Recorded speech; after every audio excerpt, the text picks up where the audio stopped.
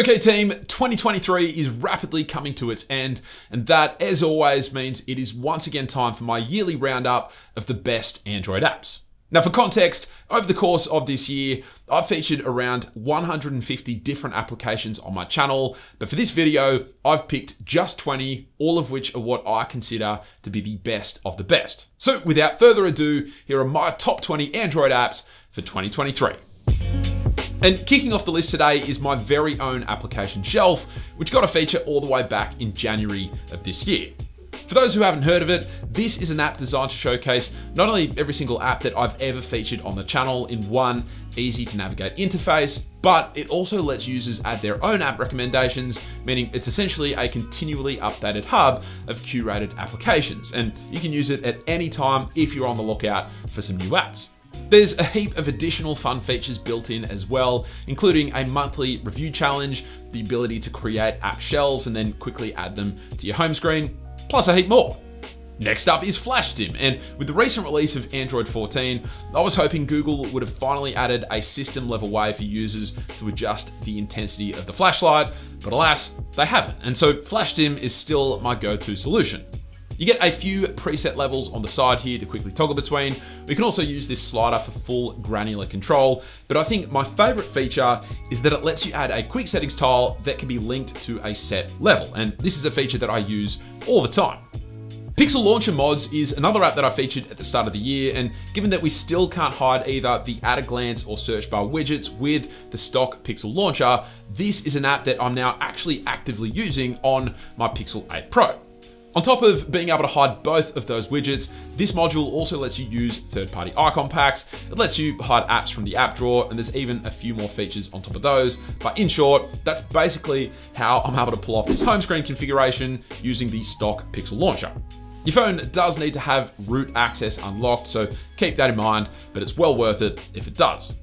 Then there's Snipd, and this is a podcasting app that I featured earlier in the year that I now use almost every single day. Not only does it offer all of the same features that you can find in just about any podcasting app, including customizable skip forward and back durations, but it does so in what is perhaps the nicest design and interface that I've ever come across in terms of podcasting apps. Plus, it also supports cross-platform syncing, which is a must-have feature for me. System UI Tuner is an app that I still install on every phone that I use, though how much I use it largely depends on the phone, but as the name so helpfully indicates, this is an app that unlocks a bunch of system level mods for your phone. So on top of hiding icons in your phone's status bar, which is what I primarily use it for, you can also use this app to disable the system safe audio warning. You can use it to customize various UI system sounds. You can even set custom device lock timeout durations or set which radios should be disabled when toggling your system airplane mode. Plus, there's a huge amount of tweaks on top of those as well. Just keep in mind that the app does need ADB permissions to be granted, plus some of the tweaks will only work on certain devices. And then there's Inure, which is perhaps one of my favorite apps I've ever featured in terms of an app's animations, plus its functionality is amazing as well. And although there was a brief period where the app got removed from the Play Store, it's back and better than ever. Probably the app's best feature in terms of functionality is that it lets you perform a bunch of different batch actions for groups of selected apps. But then, like I said, the design and fluidity of the entire interface is just on another level. Worth trying it for just that aspect alone. Now, I'm more of a tape measure guy, but that doesn't mean that I'm not still super impressed to this day by the app Meesure. And that's because it uses your phone's camera and motion sensors to measure spaces super quickly. It works really well and is pretty dang accurate to go with, so a very handy app when you're in a pinch.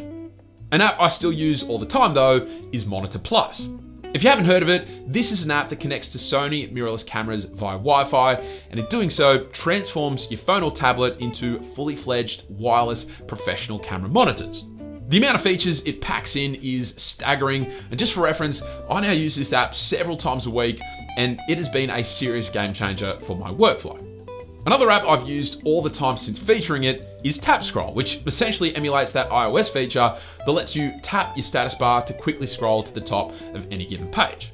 It works really well and is just so intuitive, plus it even lets you add additional gestures and actions if you like, which is really cool.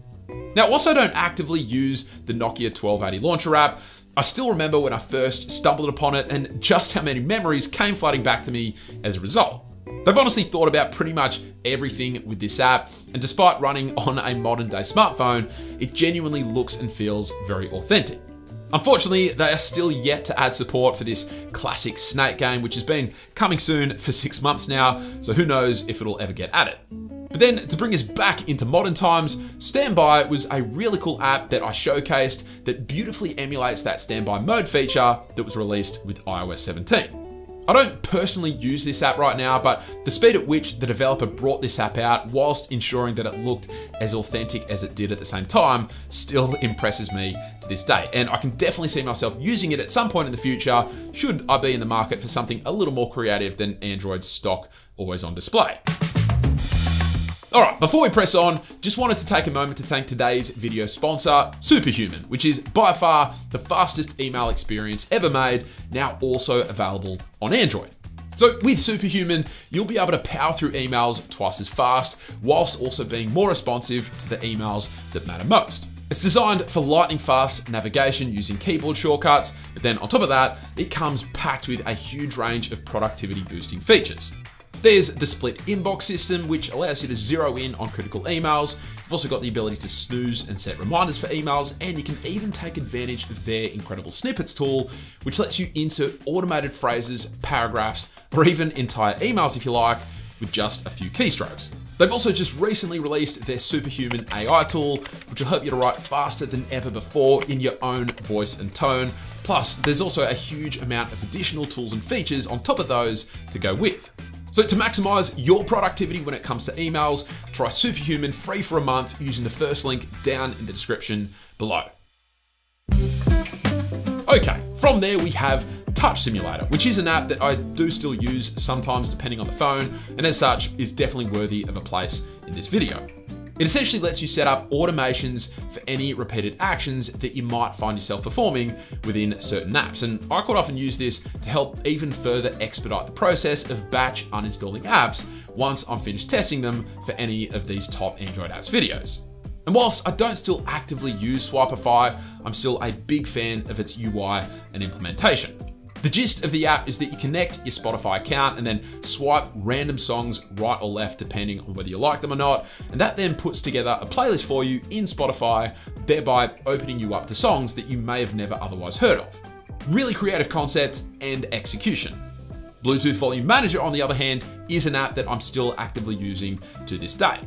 This is a super useful app that lets you set preset volume levels for different Bluetooth devices. And that means whenever I get in the car and my phone connects, I no longer miss out on 20 seconds of a podcast that I was listening to because the volume on my phone was set too low.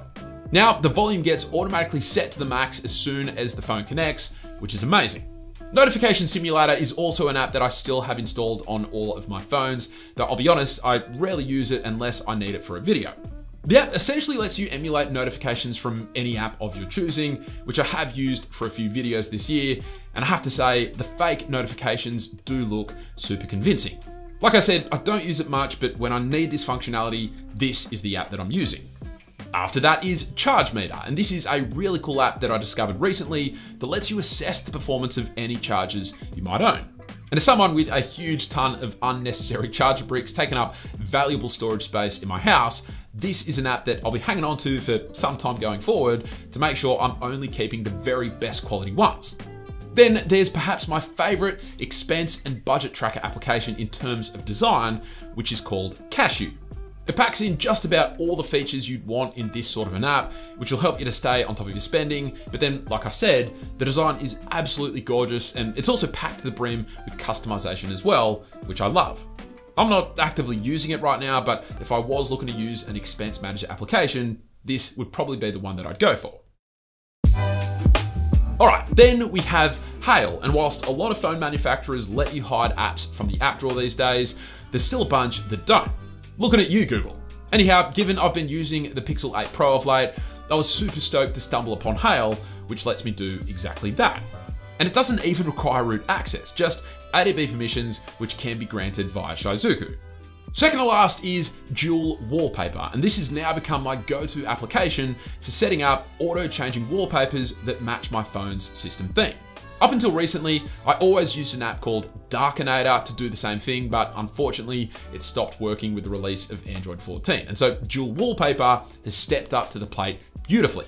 It also offers a few extra features to go with, so definitely worth a look. And so last but certainly not least is Smart Spacer, an app that I just recently featured on the channel that takes Google's at a glance feature and increases its functionality tenfold. From adding unread counters to digital well-being stats to even Tasker plugins, this app is seriously powerful. And the best part is that it does not require root access, only permissions to be granted via Shizuku.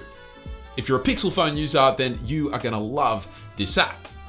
But that, my friends, is it. Those were my favorite apps out of all of the apps that I featured in 2023. You can find all of the links to the apps that I mentioned throughout the video down in the description below. And as always, let me know which apps were your top picks throughout the year, and who knows, maybe they'll be featured on the channel in 2024. If you enjoyed the video, then a sub to the channel would be amazing. But that's it. Thank you all very much for watching, and I will catch you later.